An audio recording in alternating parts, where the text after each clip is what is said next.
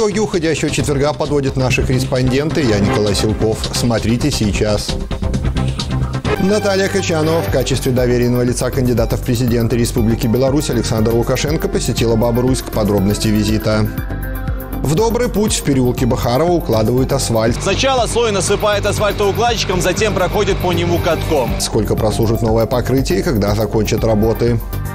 Кража со взломом. На Орджоникидзе заграбили магазин велосипедов. Внутри был беспорядок, сейф был опрокинут. Какую схему провернули злоумышленники? Приветствует Бобруйск. Санаторий города вновь принимает иностранных гостей. Здесь замечательное лечение, у меня есть с чем сравнивать. Из каких стран едут туристы, чем привлекают белорусские здравницы. А также итоги смены в «Патриоте», школьные базары и хмурая пятница. Завтра небо затянут облака, что обещают синоптики.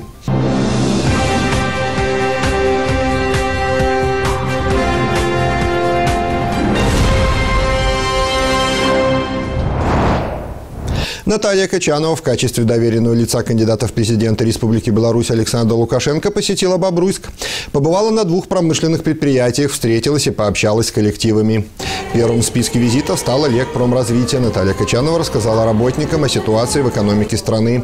Затронула темы социальной защиты и заработной платы.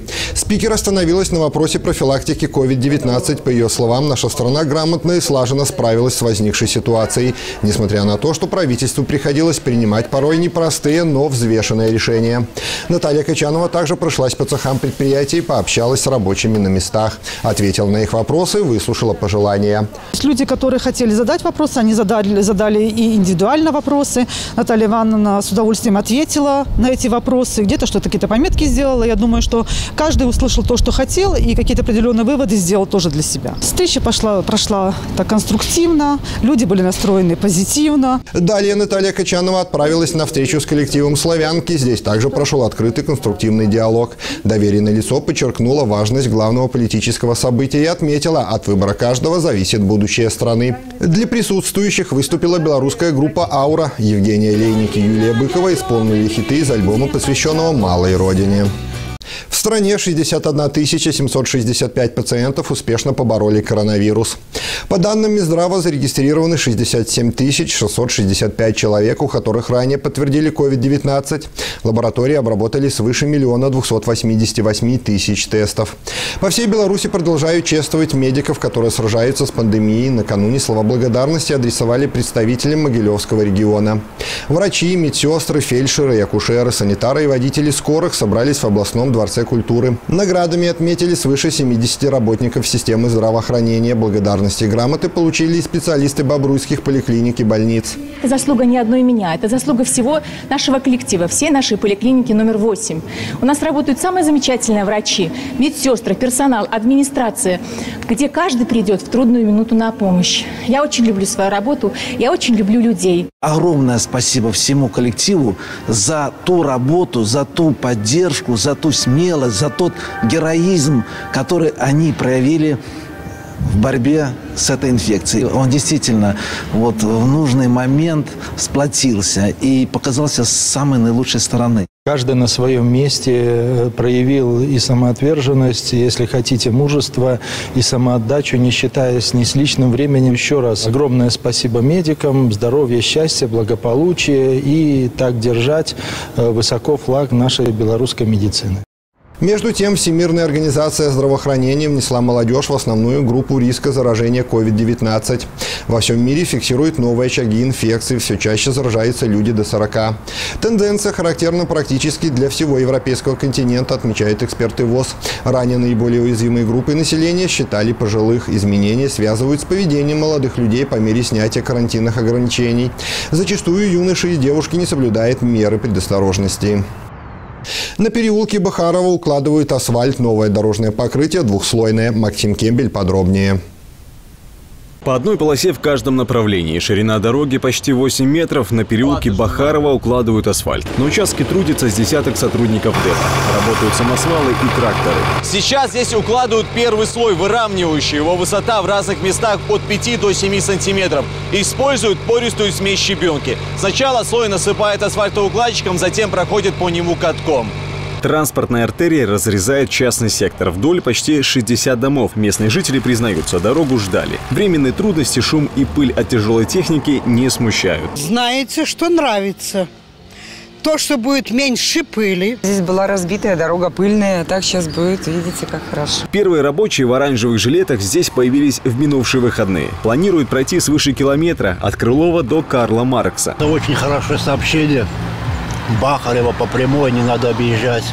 Очень отлично. Спасибо нашим властям, спасибо городу, что наконец нашли деньги, чтобы построить эту эту дорогу. Совсем скоро приступят к укладке второго слоя асфальта. Толщина покрытия составит более 12 сантиметров. За качеством работ ежедневно следят специалисты. Срок текущего ремонта по данному объекту определен как э, август месяц текущего года. Работы будут завершены после предъявления подрядчикам акта выполненных работ э, должного качества и подписанной техническим надзором. Переулок Бахарова не единственный горячий участок бобруйских дорог. Накануне рабочие завершили укладку асфальта от улицы Урицкого до Октябрьской. Также подняли колодцы и нанесли разметку. Максим Кембель, Дмитрий Шевцов, Бобруйск, 360. Вскрыли дверь, вынесли наличные. На Орджоникидзе ограбили магазин велосипедов. Злоумышленники работали ночью. Сперва сняли ролет, затем взломали замок. Дальше больше отогнули дверь сейфа, украли деньги. Сумма ущерба порядка 5000 рублей. Товар остался нетронутым. Следователи в эти минуты продолжают проверку. Сегодня в 9 утра мне позвонила соседка вот соседнего магазина и сказала, что у нас открыта дверь. Возможно, мы просто забыли ее закрыть, но я-то знал, что я ее закрывал. Когда я прибыл на место, ну, обнаружил следы взлома. Когда я зашел вовнутрь, внутри был беспорядок, сейф был опрокинут, то есть ну, были видны следы проникновения. Ну, дальше мы вызвали следственную группу. Стали очевидцем происшествия, бьетесь над решением наболевшей проблемы, есть эксклюзив. Корреспонденты Бобруйск 360 готовы выехать на место событий прямо сейчас. Телефон горячей линии на ваших экранах. Итоги совещания в Центр избиркоме «Опасное детское печенье» и досрочная выплата пенсии. Деньги начнут выдавать уже с 3 августа. Громкие заголовки дня далее в специальном обзоре.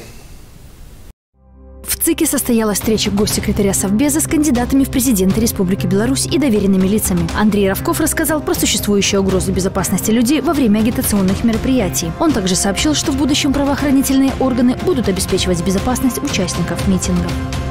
В Новополоцком нафтане запустили установку производства элементарной серы методом Клауса. В церемонии участвовали представители областной и городской власти, председатель концерна «Белнефтехим», гендиректор и коллектив предприятия. Ранее в строй ввели установку получения водорода номер два. Оба объекта построены с нуля и суммарно обеспечили рабочими местами 174 человека.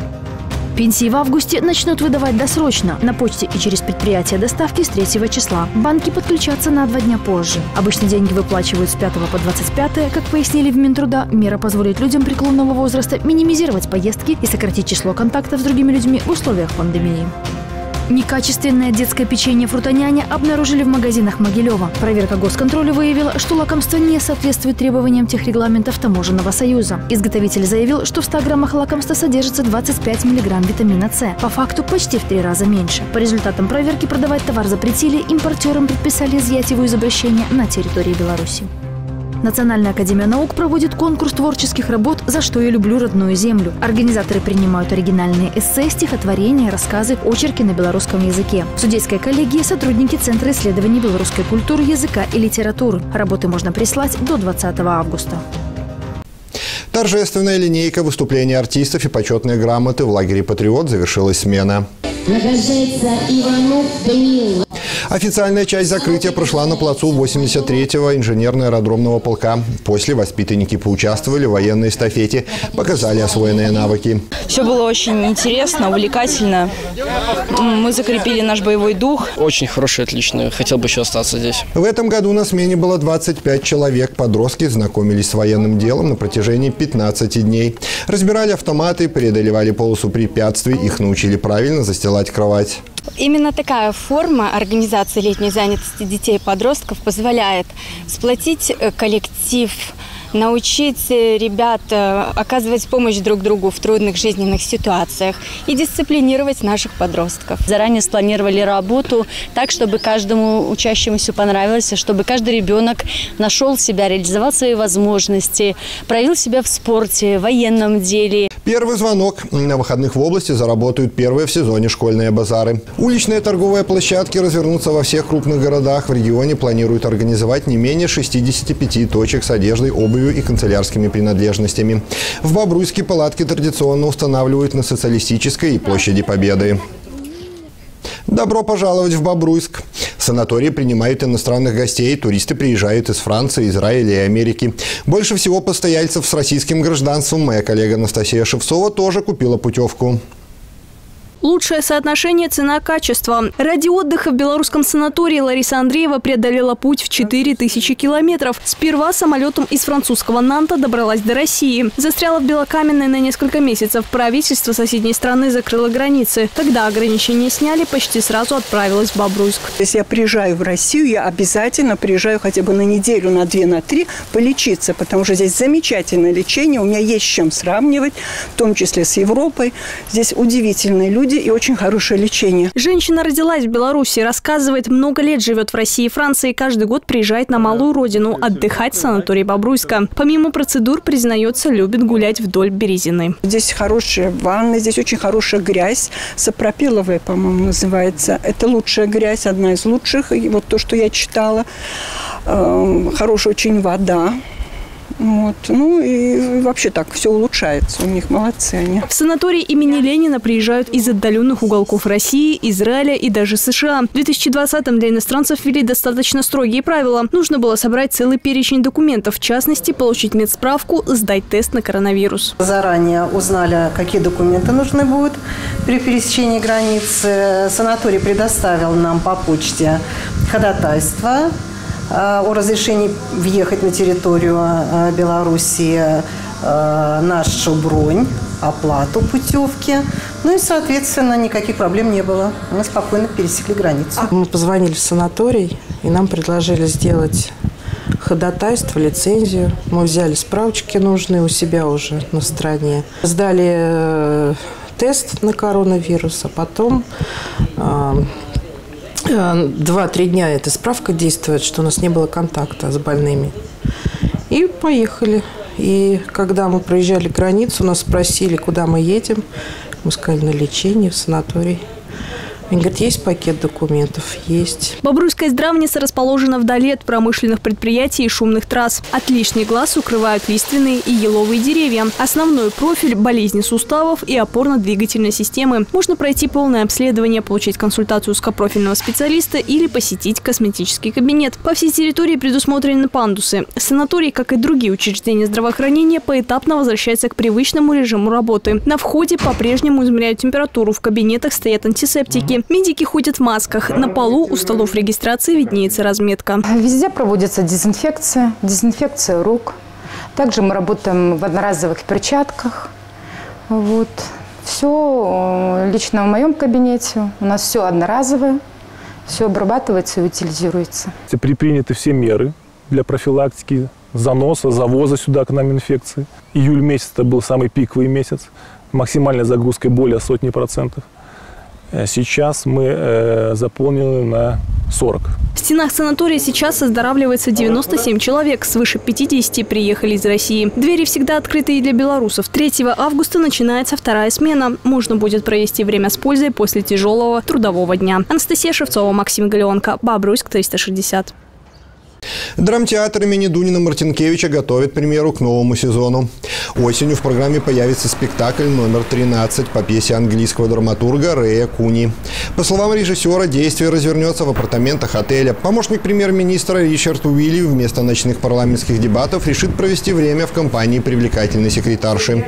В самый неподходящий момент появится третий лишний. Цитата «Мужское тело средних лет, не подающее признаков жизни». Это очень хорошая комедия, качественная. Именно драматургически качественная. Это очень высокая драматургия, я бы сказал. Из комедий, наверное, самая, одна из самых высоких. И плюс ко всему команда подобралась очень серьезная. Это может получиться очень смотрибельный спектакль, который создаст настроение. Постановка Татьяны Троинович. Э, я думаю, что Татьяна Михайловна известна уже очень хорошо бобруйскому зрителю по постановкам «Точки на временной оси».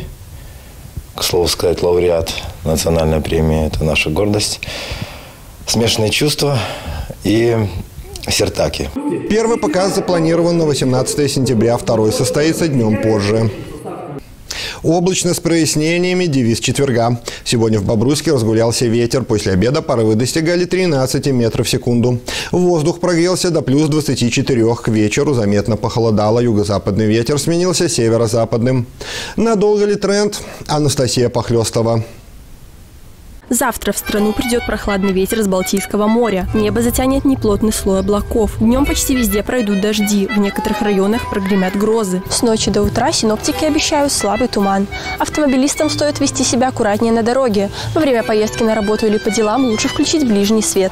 Ухудшилась ситуация с наводнениями в индийском штате Бихар. За последние сутки жертвами стихийного бедствия стали 36 человек. Из-за потопа пострадали 30 тысяч. На восточной центральной железной дороге шестой день стоят поезда. Железная дорога в некоторых местах ушла под воду. Сильное наводнение и на севере Японии. Несколько населенных пунктов оказались изолированными от остального мира. Власти успели эвакуировать большую часть населения. Спасатели пока не могут оценить ущерб и выяснить, есть ли там пострадавшие и жертвы. Наводнение вызвали сезонные ливни. Из берегов ушла река Магами. Дождевой фронт двигается в направлении столицы Токио. Жители американского Колорадо наблюдали удивительное и одновременно пугающее явление. В небе над штатом взорвался крупный метеорит. Происшествие попало на видео местные специалисты успокоили. Такие гости из космоса достаточно часто сгорают в атмосфере.